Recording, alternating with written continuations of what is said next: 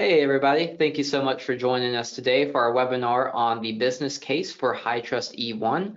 My name is Kendall Morris with risk3sixty. Uh, and today we'll be hearing from Christian White, who's our president and co-founder, as well as Gary Holverson, who is one of our HITRUST consultants. Uh, I did want to point you to the GoToWebinar control panel. In there, we have a couple of handouts for a couple of HITRUST materials that Christian and Gary will be talking about today as well as a section for questions. So if you have any questions during the webinar, feel free to drop them there. And then we have some time at the end set aside for uh, Gary and Christian to answer those. But in the meantime, I'll hand it off to them to kick us off. Great. Well, thank you everyone for joining. Uh, today we're going to talk about HITRUST's newest offering, uh, the Trust E1 assessment and certification. So let's get started. This is our agenda for today. We're going to open up just talking about what HITRUST E1 is, comparing some of the differences between HITRUST E1 and the I1 offering, as well as uh, SOC 2. Um, we'll talk a little bit about market drivers that we think are pertinent for E1, and then we'll jump into the business case for E1. We'll talk about some of the benefits, um, attributes, how it may pair well with SOC 2 if you do SOC 2 um, how to communicate with the executive team and maximize your ROI. And um, like Kendall mentioned, there's some handouts that we're going to talk about. We'll get into a real world case study and then talk about some other considerations, um, additional resources, and do Q&A. So with that, let's jump into it. All right, so what is the new HITRUST E1? so this is a an essential one-year assessment. It's a certifiable assessment, and of course, governed by the HITRUST Alliance. Uh, it's modeled on the CISA, CISA Cyber Essentials, uh, also the Health Industry Cybersecurity Practices, or HICP.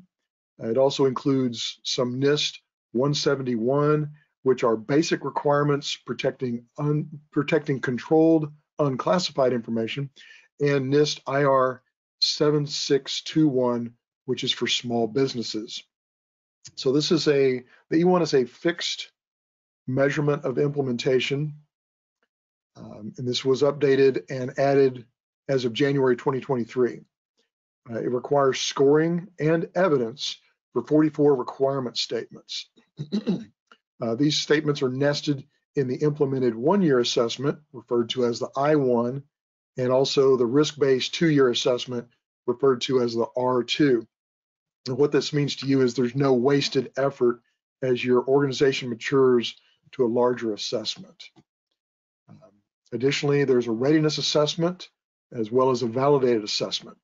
So the readiness assessment, when it's done in the HITRUST MyCSF portal with a HITRUST subscription, leads to a HITRUST report, whereas the validated assessment can lead to a HITRUST certification. So a validated assessment must be done by an approved HITRUST external assessor, such as risk3sixty. Now the, the E1 certification or assessment provides a basic fundamental level of information security assurance to clients, company officers, board members, investors, as well as merger and acquisition partners. Yeah, Gary. So, uh, Gary, so you mentioned um, really this year is the first year that HITRUST has further reduced those barriers to getting HITRUST certification. Um, back in the day, it was just the R2, you know, the uh, risk-based uh, two-year validated assessment, which was is pretty robust for most organizations. Um, if you don't have an information security program, or you do have one, but you haven't gone through any certifications or audits before, it's it's a huge lift. And then HITRUST came out with the I1 offering, which reduced uh, you know barriers to entry. And the I1 was intended to be a moderate level of assurance. Well, now as of this year, you know we we now have the E1 offering, which is further reduced the barriers to achieving HITRUST certification, and is just covering the essentials or a basic level of assurance, like you mentioned.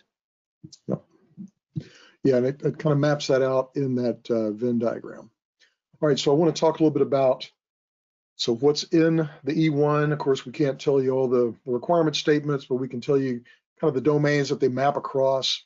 So when the E1 was released, uh, it showed 44 requirement statements. These are grouped across 19 what I like to call responsibility domains. That's my term, not HITRUST's.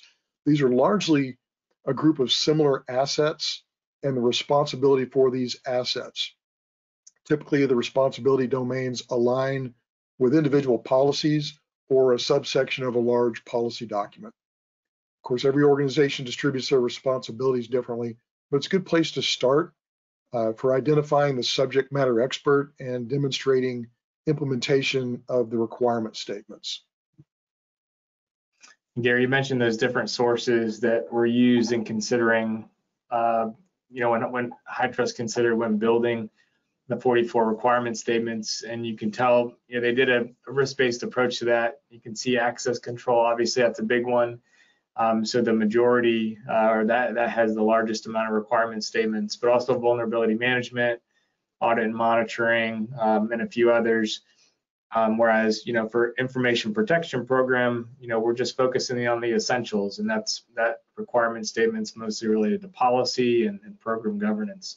So just an interesting distribution the way that um, Trust chose to structure this. That's right.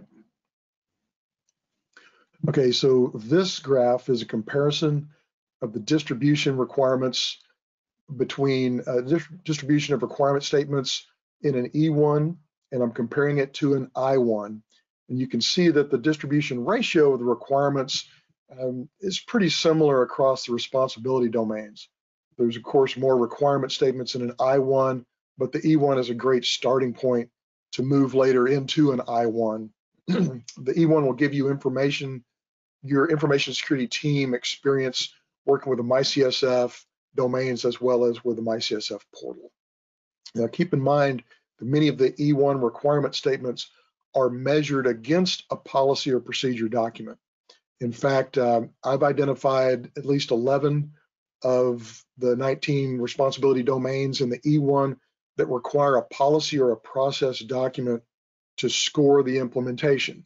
The question will be, does the implementation meet uh, the requirements or the, the, the process described in the formal documentation? Okay, so there are fewer standards that are required to be documented. Like you mentioned too, uh, you, first for some organizations, E1 will be, you know, their first step into HITRUST. It might also be as far as they go. There might not be a need for them to build upon that and go to an I1. For other organizations, based on you know market forces, maybe customer requirements, they might eventually need to mature and build upon that to achieve I1 certification. But um, the intent was for the E1 to to be uh, available to both of those scenarios. So I think for a lot of firms, you know, they'll they'll achieve an E1 and be satisfied with that, um, and may choose to stay there. It's a great place to start. This slide. Uh, so what we wanted to communicate here is how HITRUST E1 and SOC 2 um, may pair together. Um, so what we did here is we took uh, those 44 requirement statements from the previous slide, and then we matched those against a typical SOC 2 control set for security. And we said, all right, out of those 44 requirement statements, how many do we think are already covered under a SOC 2 control set? Now with SOC 2, uh, remember that the AICPA governs the, the SOC 2 program and they define criteria but not the control set. So organizations typically have customized SOC 2 controls. Um, so when we say a typical SOC 2, we're, out of the ones that we typically see, we feel that this is what the overlap would look like. Where there's not overlap, that's because HITRUST requirement statements are more technical or the, the, the burden of implementation might be a little bit greater, or they're just not ones that we would typically see in a SOC 2 control set. Um, and we'll get we'll get into the details on this in a little bit. All right, let's talk about uh, market drivers. So I'll build this slide, but really we think related to E1, there's three primary market drivers for why organizations may want to consider HITRUST E1 certification. Uh, the first is vendor management or third-party risk management. um, a lot of organizations have vendor management programs and they require vendor questionnaires to be filled out. They require uh, different security certifications or reports. And we think uh, E1 will end up being uh, something very applicable to organizations trying to um, get into the healthcare vertical or demonstrate to their partners that they do have a, a foundational security program. And they'll use that E1 certification um, as a means of demonstrating that and maybe avoiding security questionnaires altogether, which I know would be nice. Um, the second uh, primary market driver is for competitive advantage reasons. So companies that might already have a SOC 2 or an ISO 27001 certification might be interested in adding a, um, a certification that speaks directly to the healthcare uh, industry. And this is a good opportunity uh, to demonstrate that. Then lastly, trust and transparency. Having a third party attestation, uh, you know, report and certification that demonstrates that yes, we have a uh, foundational information security program in place. Here's our certification. Um, so those are kind of some of our thoughts as we considered, you know, for E1 specifically, what do we think some of those primary drivers are? Right, CW, do you think an E1 would benefit a company that's uh, a candidate for merger or acquisition? Yeah, that's a good point. Um, more and more we're seeing boards of directors and investors be interested in cybersecurity programs um, as a means of both building continuity uh, into those companies and feeling good about the way the company is managing risk. And so, um, in a lot of M&A due diligence, uh, these are increasingly becoming things that investors want to consider and see how the company has built their information security program because uh, they want their investment protected. Good point. Let's jump into the business case now. All right, so what are some of the benefits of E1 certification and why may it make sense for organizations to invest the time going down this path? Um, so like we mentioned, HITRUST has been around a long time. It's widely recognized, especially in the healthcare space for third-party information assurance. And we think E1 is readily achievable for any organization. You know, 44 requirement statements is, is not a lot. It covers the things that are really important that companies should be doing anyways. So it really is kind of a natural um, certification to kind of ease into to demonstrate what you are already doing as an organization. Uh, we talked a little bit about building trust, streamlining some of the due diligence in the in the sales cycle, and the fact that E1 maps very well to multiple frameworks because you take any framework and it probably is covering the, the essentials of cybersecurity in addition uh, to other things. Yep, we talked about it being essential. The E stands for essential, one stands for one year. Um, and again, this is a fundamental level of information assurance. And um, we'll talk a little bit about um, SOC 2 in a second here and why that particular one we think pairs very well. Okay, so the uh, for the E1, the best practices are standardized and aligned from multiple frameworks. Um, so you're to begin with, your company defines the scope of the assessment. So what what's the infrastructure that's in scope, or the piece of software that you're developing or the people that are in scope or the processes or the data that you want to focus on the protection of. so you may want to start with one system and then grow to other systems if you're developing or offering multiple systems. So the, of course, as I said before, the examination and reporting must be done by an approved HITRUST external assessor.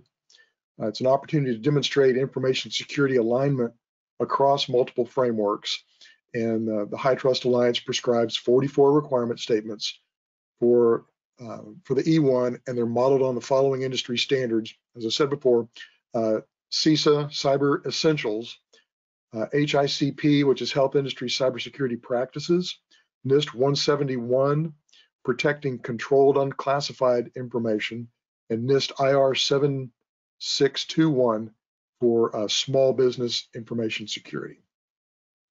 I think it's worth mentioning too, you know, that first bullet about the scope. Scope's very important. um, it is definable by the organization in the way that HITRUST describes, um, you know, what can be assessed. It should be an implemented system, so something that's already in place. And that could be an entire business. It could be a product group. It could be um, a product and the parts of the company supporting that. So that's always something that, you know, in the beginning of an assessment, we're, we're discussing that. In some cases, organizations will choose to um, have an implemented system that includes one product, and then they may choose to expand that scope over time uh, to include more products. Um, so there are some strategy discussions uh, related to scope. Okay, so the, the foundation for a strong information security and risk management program, of course, is going to include implementation of a variety of controls. And the HITRUST certification demonstrates a well-rounded program built on categories of controls.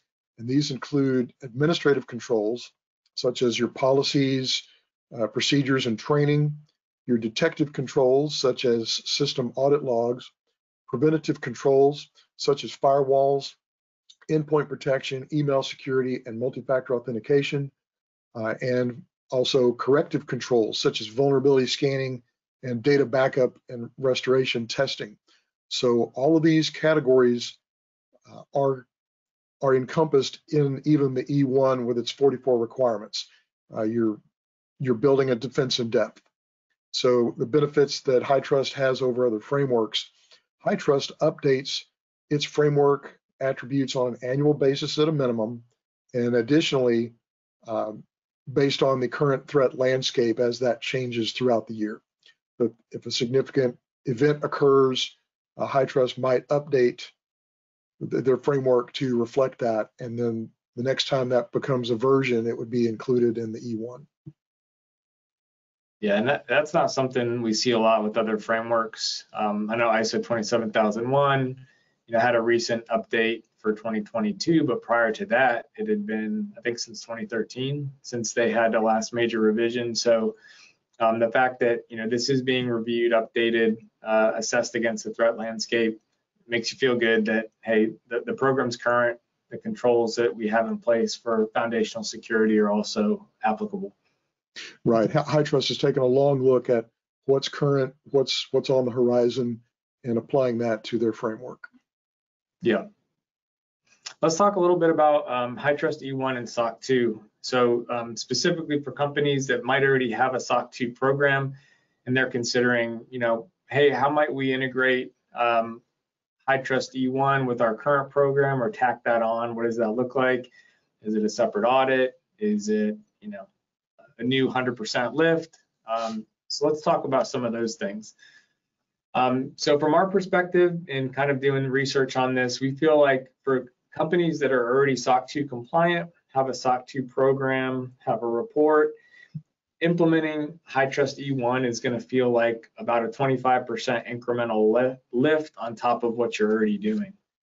Um, specifically, of, of, of, those 44 con, uh, requirement statements for E1, we assess that there's a 56% overlap um, with SOC 2 so in other words, um, really there's only 19 net new requirement statements that would need to be implemented or assessed beyond SOC 2. So um, that, that's really nice because, you know, if you're, if you're going down the path of, you know, adding another um, information assurance, uh, third party uh, attestation to your, your suite of compliance um, initiatives, it, it's best to not add a bunch of net new things that that don't pair well um, because you know that's going to take a lot more resources, a lot more time, a lot more cost. And so we see this as, as pairing very nicely just due to the overlap.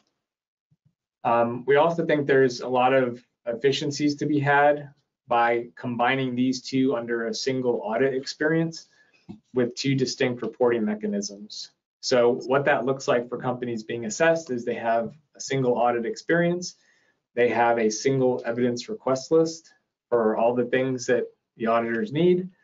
And then the SOC 2 report is issued by the CPA firm, such as risk3sixty. We are a CPA firm, as well as uh, having some other designations. And then the HITRUST E1 certification, the assessment's still done by us as the HITRUST authorized external assessor, but the certification itself is issued by the HITRUST Alliance.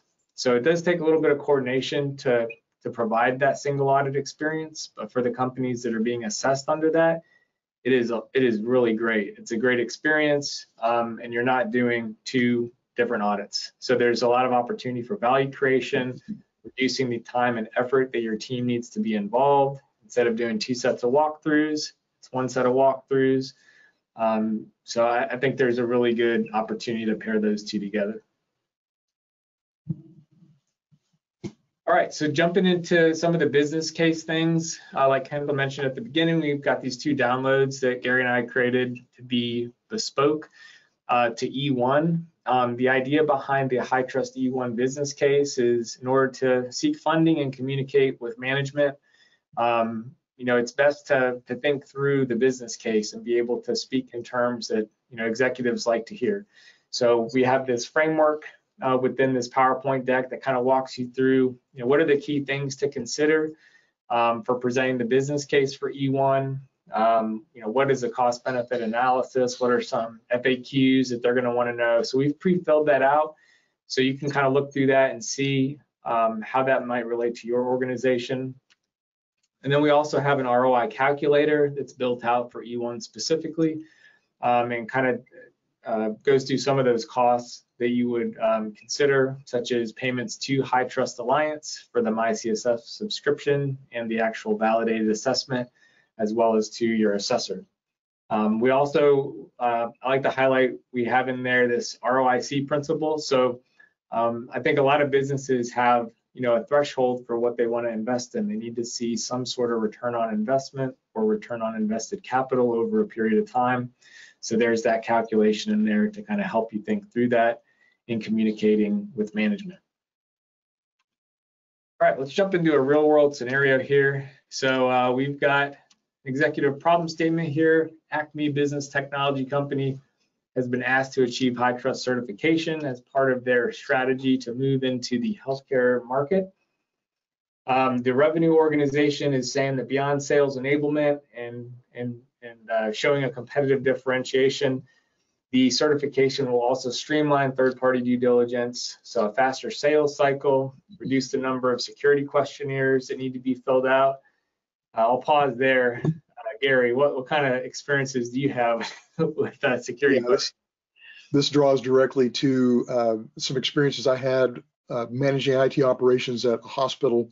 There was a piece of software that actually the president of the hospital and the radiology department wanted very badly to use to interact with the customers. But uh, the corporate holding, uh, you know, holding organization said, okay, great. Uh, your your software vendor needs to fill out this questionnaire, and it was a 400-page Excel document, you know, laying out all of their security controls. Mm-hmm. So, short story long, it took them, it took a year, it took over 12 months for them to implement whatever the controls were required, and then report on it and complete this Excel spreadsheet. so it was over 12 months before we were able to install and, and operate the software, even though it was going to be a huge uh, cost saving for the radiology department. So yeah. at the end of that exercise, our software our software vendor, well, they had one new customer and they had a gigantic spreadsheet they filled out. If the E1 had been offered, they may have been able to do that exercise in a HITRUST E1, and then at the end of that exercise, they would have had a certification rather than just a spreadsheet.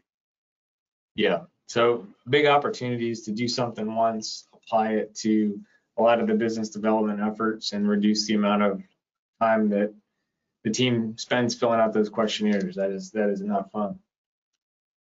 Um, so in this case, for this uh, you know use case here, the company already has a SOC 2 program. They're wondering you know how it aligns with HITRUST, how they can gain some efficiencies by combining the two. Um, they want to know time, effort, cost, return on investment. They want to kind of see the the big picture here. So some of the asks from leadership are that hey, we need a budget estimate to figure out if this is something we can, you know, do this year. We need to understand what the project plan and the timeline is because we'll need to communicate that with prospective customers.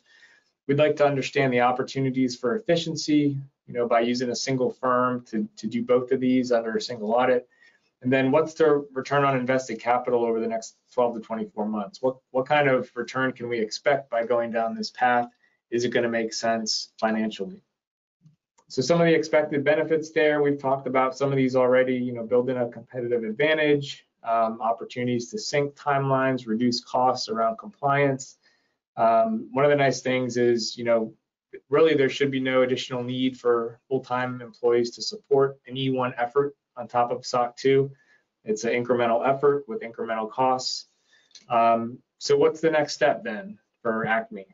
Well, we recommend jumping into the business case, jumping into the ROI calculator.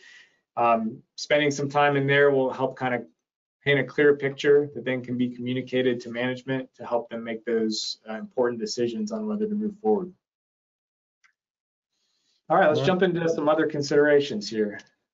Okay, so I want to talk about, you know, where to begin. That's probably your first question. Um, you could start out with a readiness assessment with risk3sixty, where that will produce a gap report that shows you what you need to work on. Um, the way we do that, we'll we'll measure your, you know, kind of kind of the, the risk and where you are, and based on what's the what's the runway to get there. Does it require quotes, multiple vendors, uh, implementation, or is it a is it a policy document that someone can write up and uh, and and apply it towards HITRUST. So we help you to determine what to do first, which lever to pull first. It can be very overwhelming otherwise. Uh, additionally, if you don't have the internal team to build an information security program, uh, you might look to a, a virtual CISO situation. Uh, risk3sixty offers that to help uh, build and manage security and risk programs. And additionally, um, you would probably want to pair your E1 exercise with a GRC platform, something you could, a software tool that you could use to manage your communication and your evidence collection. Uh, that and that's also helpful if you're combining that with a SOC 2, PCI, DSS, or ISO. Um, I, I, think of the, you know, the, the, the SOC effort along with the HITRUST E1 as a Venn diagram with, I think you said a 56% overlap. Yeah. So that, that would pair really well. Okay. The so the first part would be, you know, once you've remediated your gaps and you think you're ready to go, evidence request and collection. Uh, that's that's best done in some sort of tool. Uh, the assessed entity can add. So for a for a GRC tool, the assessed entity can add users to a dedicated GRC platform rather than communicating via email or adding external users to the company's internal file sharing directory. You know what we're talking about. Uh, we've seen permissions to shared drives go wrong way too many times. Additionally, with a GRC tool, the assessed entity can assign tasks to team members and other subject matter experts and uh, collaborate within the tool as opposed to sending emails, which you don't want unencrypted emails going out with uh, with your protected information. So for uh, evidence evidence requests and collection, we also recommend using a GRC tool. The risk3sixty tool is called Phalanx. Uh, that that streamlines the collection and testing. Evidence artifacts can be mapped to many requirements and requirement statements can be mapped to many artifacts. And I haven't figured out a way, a good way to do that in a shared spreadsheet without waiting. You're you're you're majoring in the spreadsheet rather than the assessment. So the, the Phalanx tool can streamline evidence collection for multiple types of uh, assessments such as SOC, ISO, and HITRUST. Now this is uh, demonstrating the, the GRC tool Phalanx uh, multi-directional collaboration uh, you can get real-time metrics uh, that's available in Phalanx GRC dashboards. So there's no more formulas and spreadsheets and last minute calculations to build a chart before you have a project status meeting with all the stakeholders. And uh, within this, the team can comment on evidence with integration for email uh, and or Slack.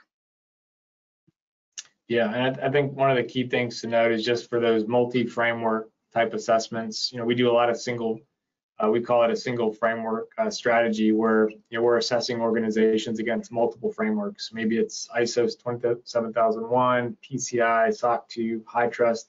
We're able to create that consolidated request list, and on the back end of the platform, we're able to go ahead and assess and, and generate the reports or get that information, you know, over to the HITRUST platform uh, for submission. So um, it definitely helps to streamline a lot of the uh, work that would otherwise be manual or duplicative. Um, so let's highlight a few additional resources here. Um, we've got a, a YouTube channel uh, dedicated to HITRUST. Um, so that's available. We have a learning center on our website. Uh, we do a lot of blogs um, for HITRUST and then also you know, visit us at risk3sixty.com, hit the, the button, speak with an expert. We'd love to hear from you. Uh, so these are additional resources uh, available to you as well. All right, Kendall, what do we got for uh, some Q&A? Any questions from the audience? Awesome. Yeah, thank you so much. That was great. We did have a few questions come in. So uh, first one, um, what is the price of a HITRUST E1 assessment? Um, I can take that one. Uh, the short answer is it depends. and the reason it depends is, is this a standalone assessment?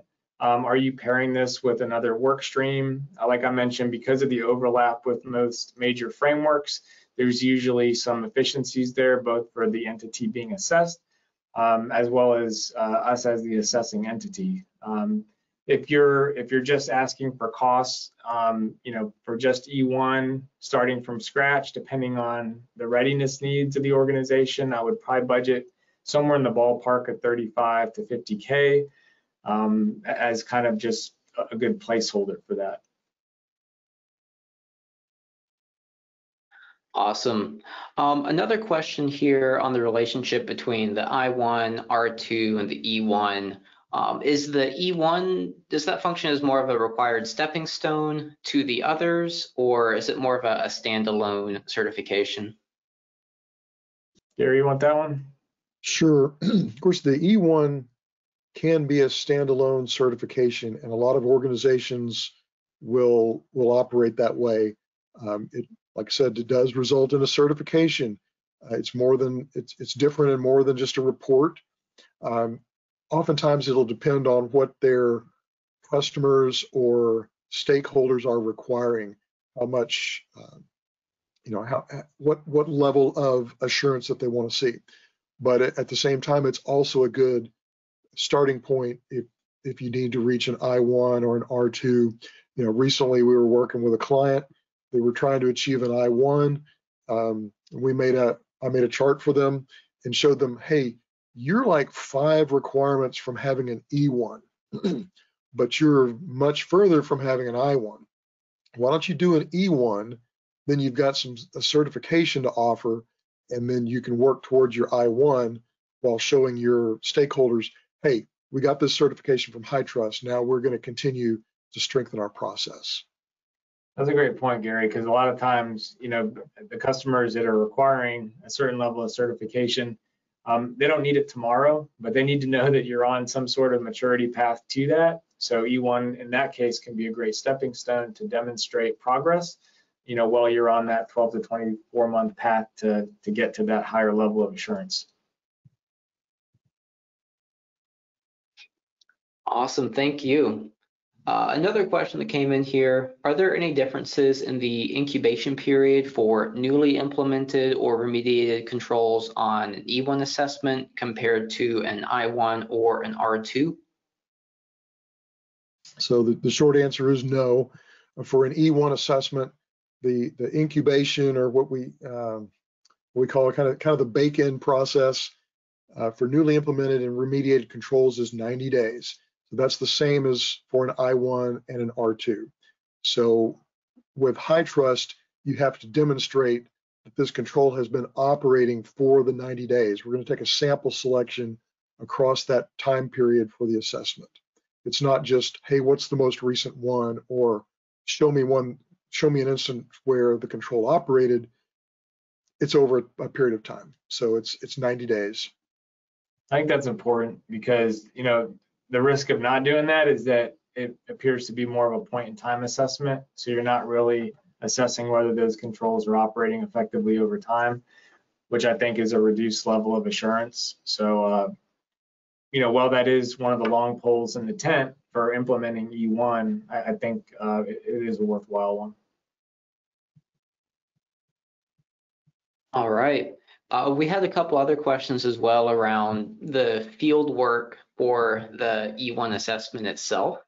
So a couple of questions around, you know, how long does that field work take and is it evidence-based or just inquiry-based? If you can maybe dive into that a little bit as well. Uh, sure. The, it's gonna, it's gonna depend on your, your uh, level of readiness, whether you've had a readiness assessment or not. Um, But typically we say, what, um, what, what do we typically state, CW? Well, I think, you know, if, if you're starting from scratch and you're trying to, you know, get through the readiness portion to figure out where your gaps are at, all right, now you've found your gaps, you know, if there are gaps uh, where you need to implement things, you know, you have to implement them, then you have to let them bake for 90 days before we can assess them. So when you start kind of building out that timeline that we have in the handout, you know, you start seeing, okay, well, maybe this is more of like a six to 12 month type of runway uh, just based on you know where the gaps are at. But for us, once we begin the assessment, we have 90 days to to, to complete the assessment, to submit that to HITRUST for their quality assurance review, and then um, the certification is issued after that once they've completed their review. Right. Part of Kendall's, uh, Kendall, part of the question was, is evidence required and, and what would that look like? So just like in I1 or R2, uh, there's evidence required to support the implementation of the control. Um, You know, for, for, for good scores, uh, validated assessment is going to take that in consideration and it's going to be uploaded to the HITRUST MyCSF. So one of the benefits I've seen of, of collecting this evidence uh, back when I was doing IT operations, I would have my team build kind of wiki pages or, or a how-to document.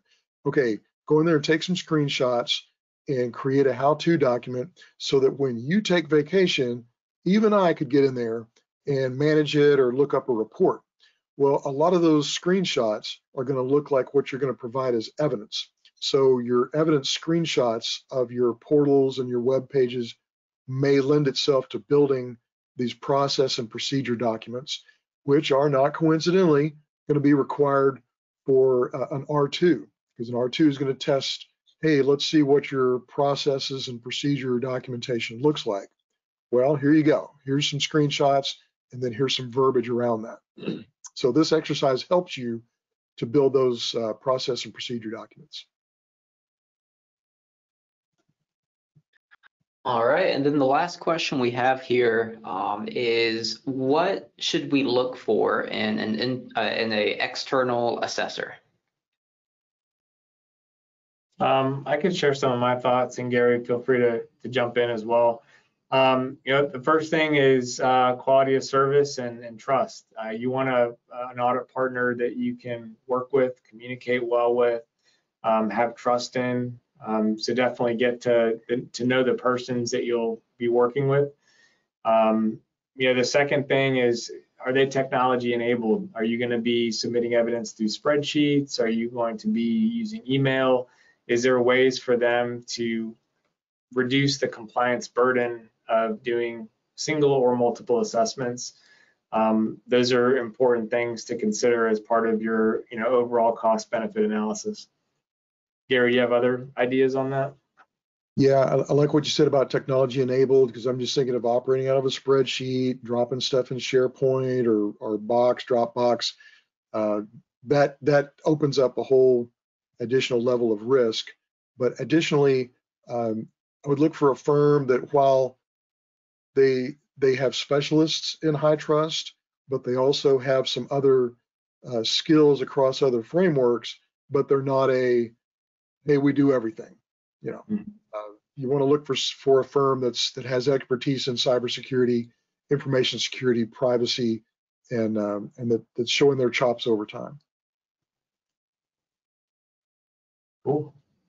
Awesome. All good advice. I'm sorry, I, I promised that was the last question, but we actually had one other come through. Um, so what has changed from HITRUST version 9.6.2 to oh? 11.0? We could speak a lot about that. I think we, we Yeah. addressed that a little bit in one of our last webinars. Um, so, you know, off the cuff, I think it's a much better alignment um, of the different product offerings um, in a way that's nested. So like we showed in that, uh, one of the original diagrams is, you know, E1 uh, is a stepping stone to I1, is a stepping stone to R2 if you choose to go down that path. So that was a major revision that HITRUST made. Um, previously, there was incremental improvements under version 9, um, good improvements, but with version 11, that was a major restructuring of the framework, which uh, we view as a very positive thing. Um, so we're we're happy to see that that, that got uh, done. Yeah, one, one of the big changes, they did have an I1 version in, uh, they did have an I1 in version 9.6, but there the Venn diagram had some on, on both sides. There was some I1 that didn't feed directly into an R2 and uh, vice versa. There was some R2 stuff that wasn't considered in the I1, whereas they've, they've aligned that very well, very wisely with version 11. And uh, one of, one of the things I heard from HITRUST was someone asked, why did you go from version 9 to version 11? And the answer was to avoid confusion.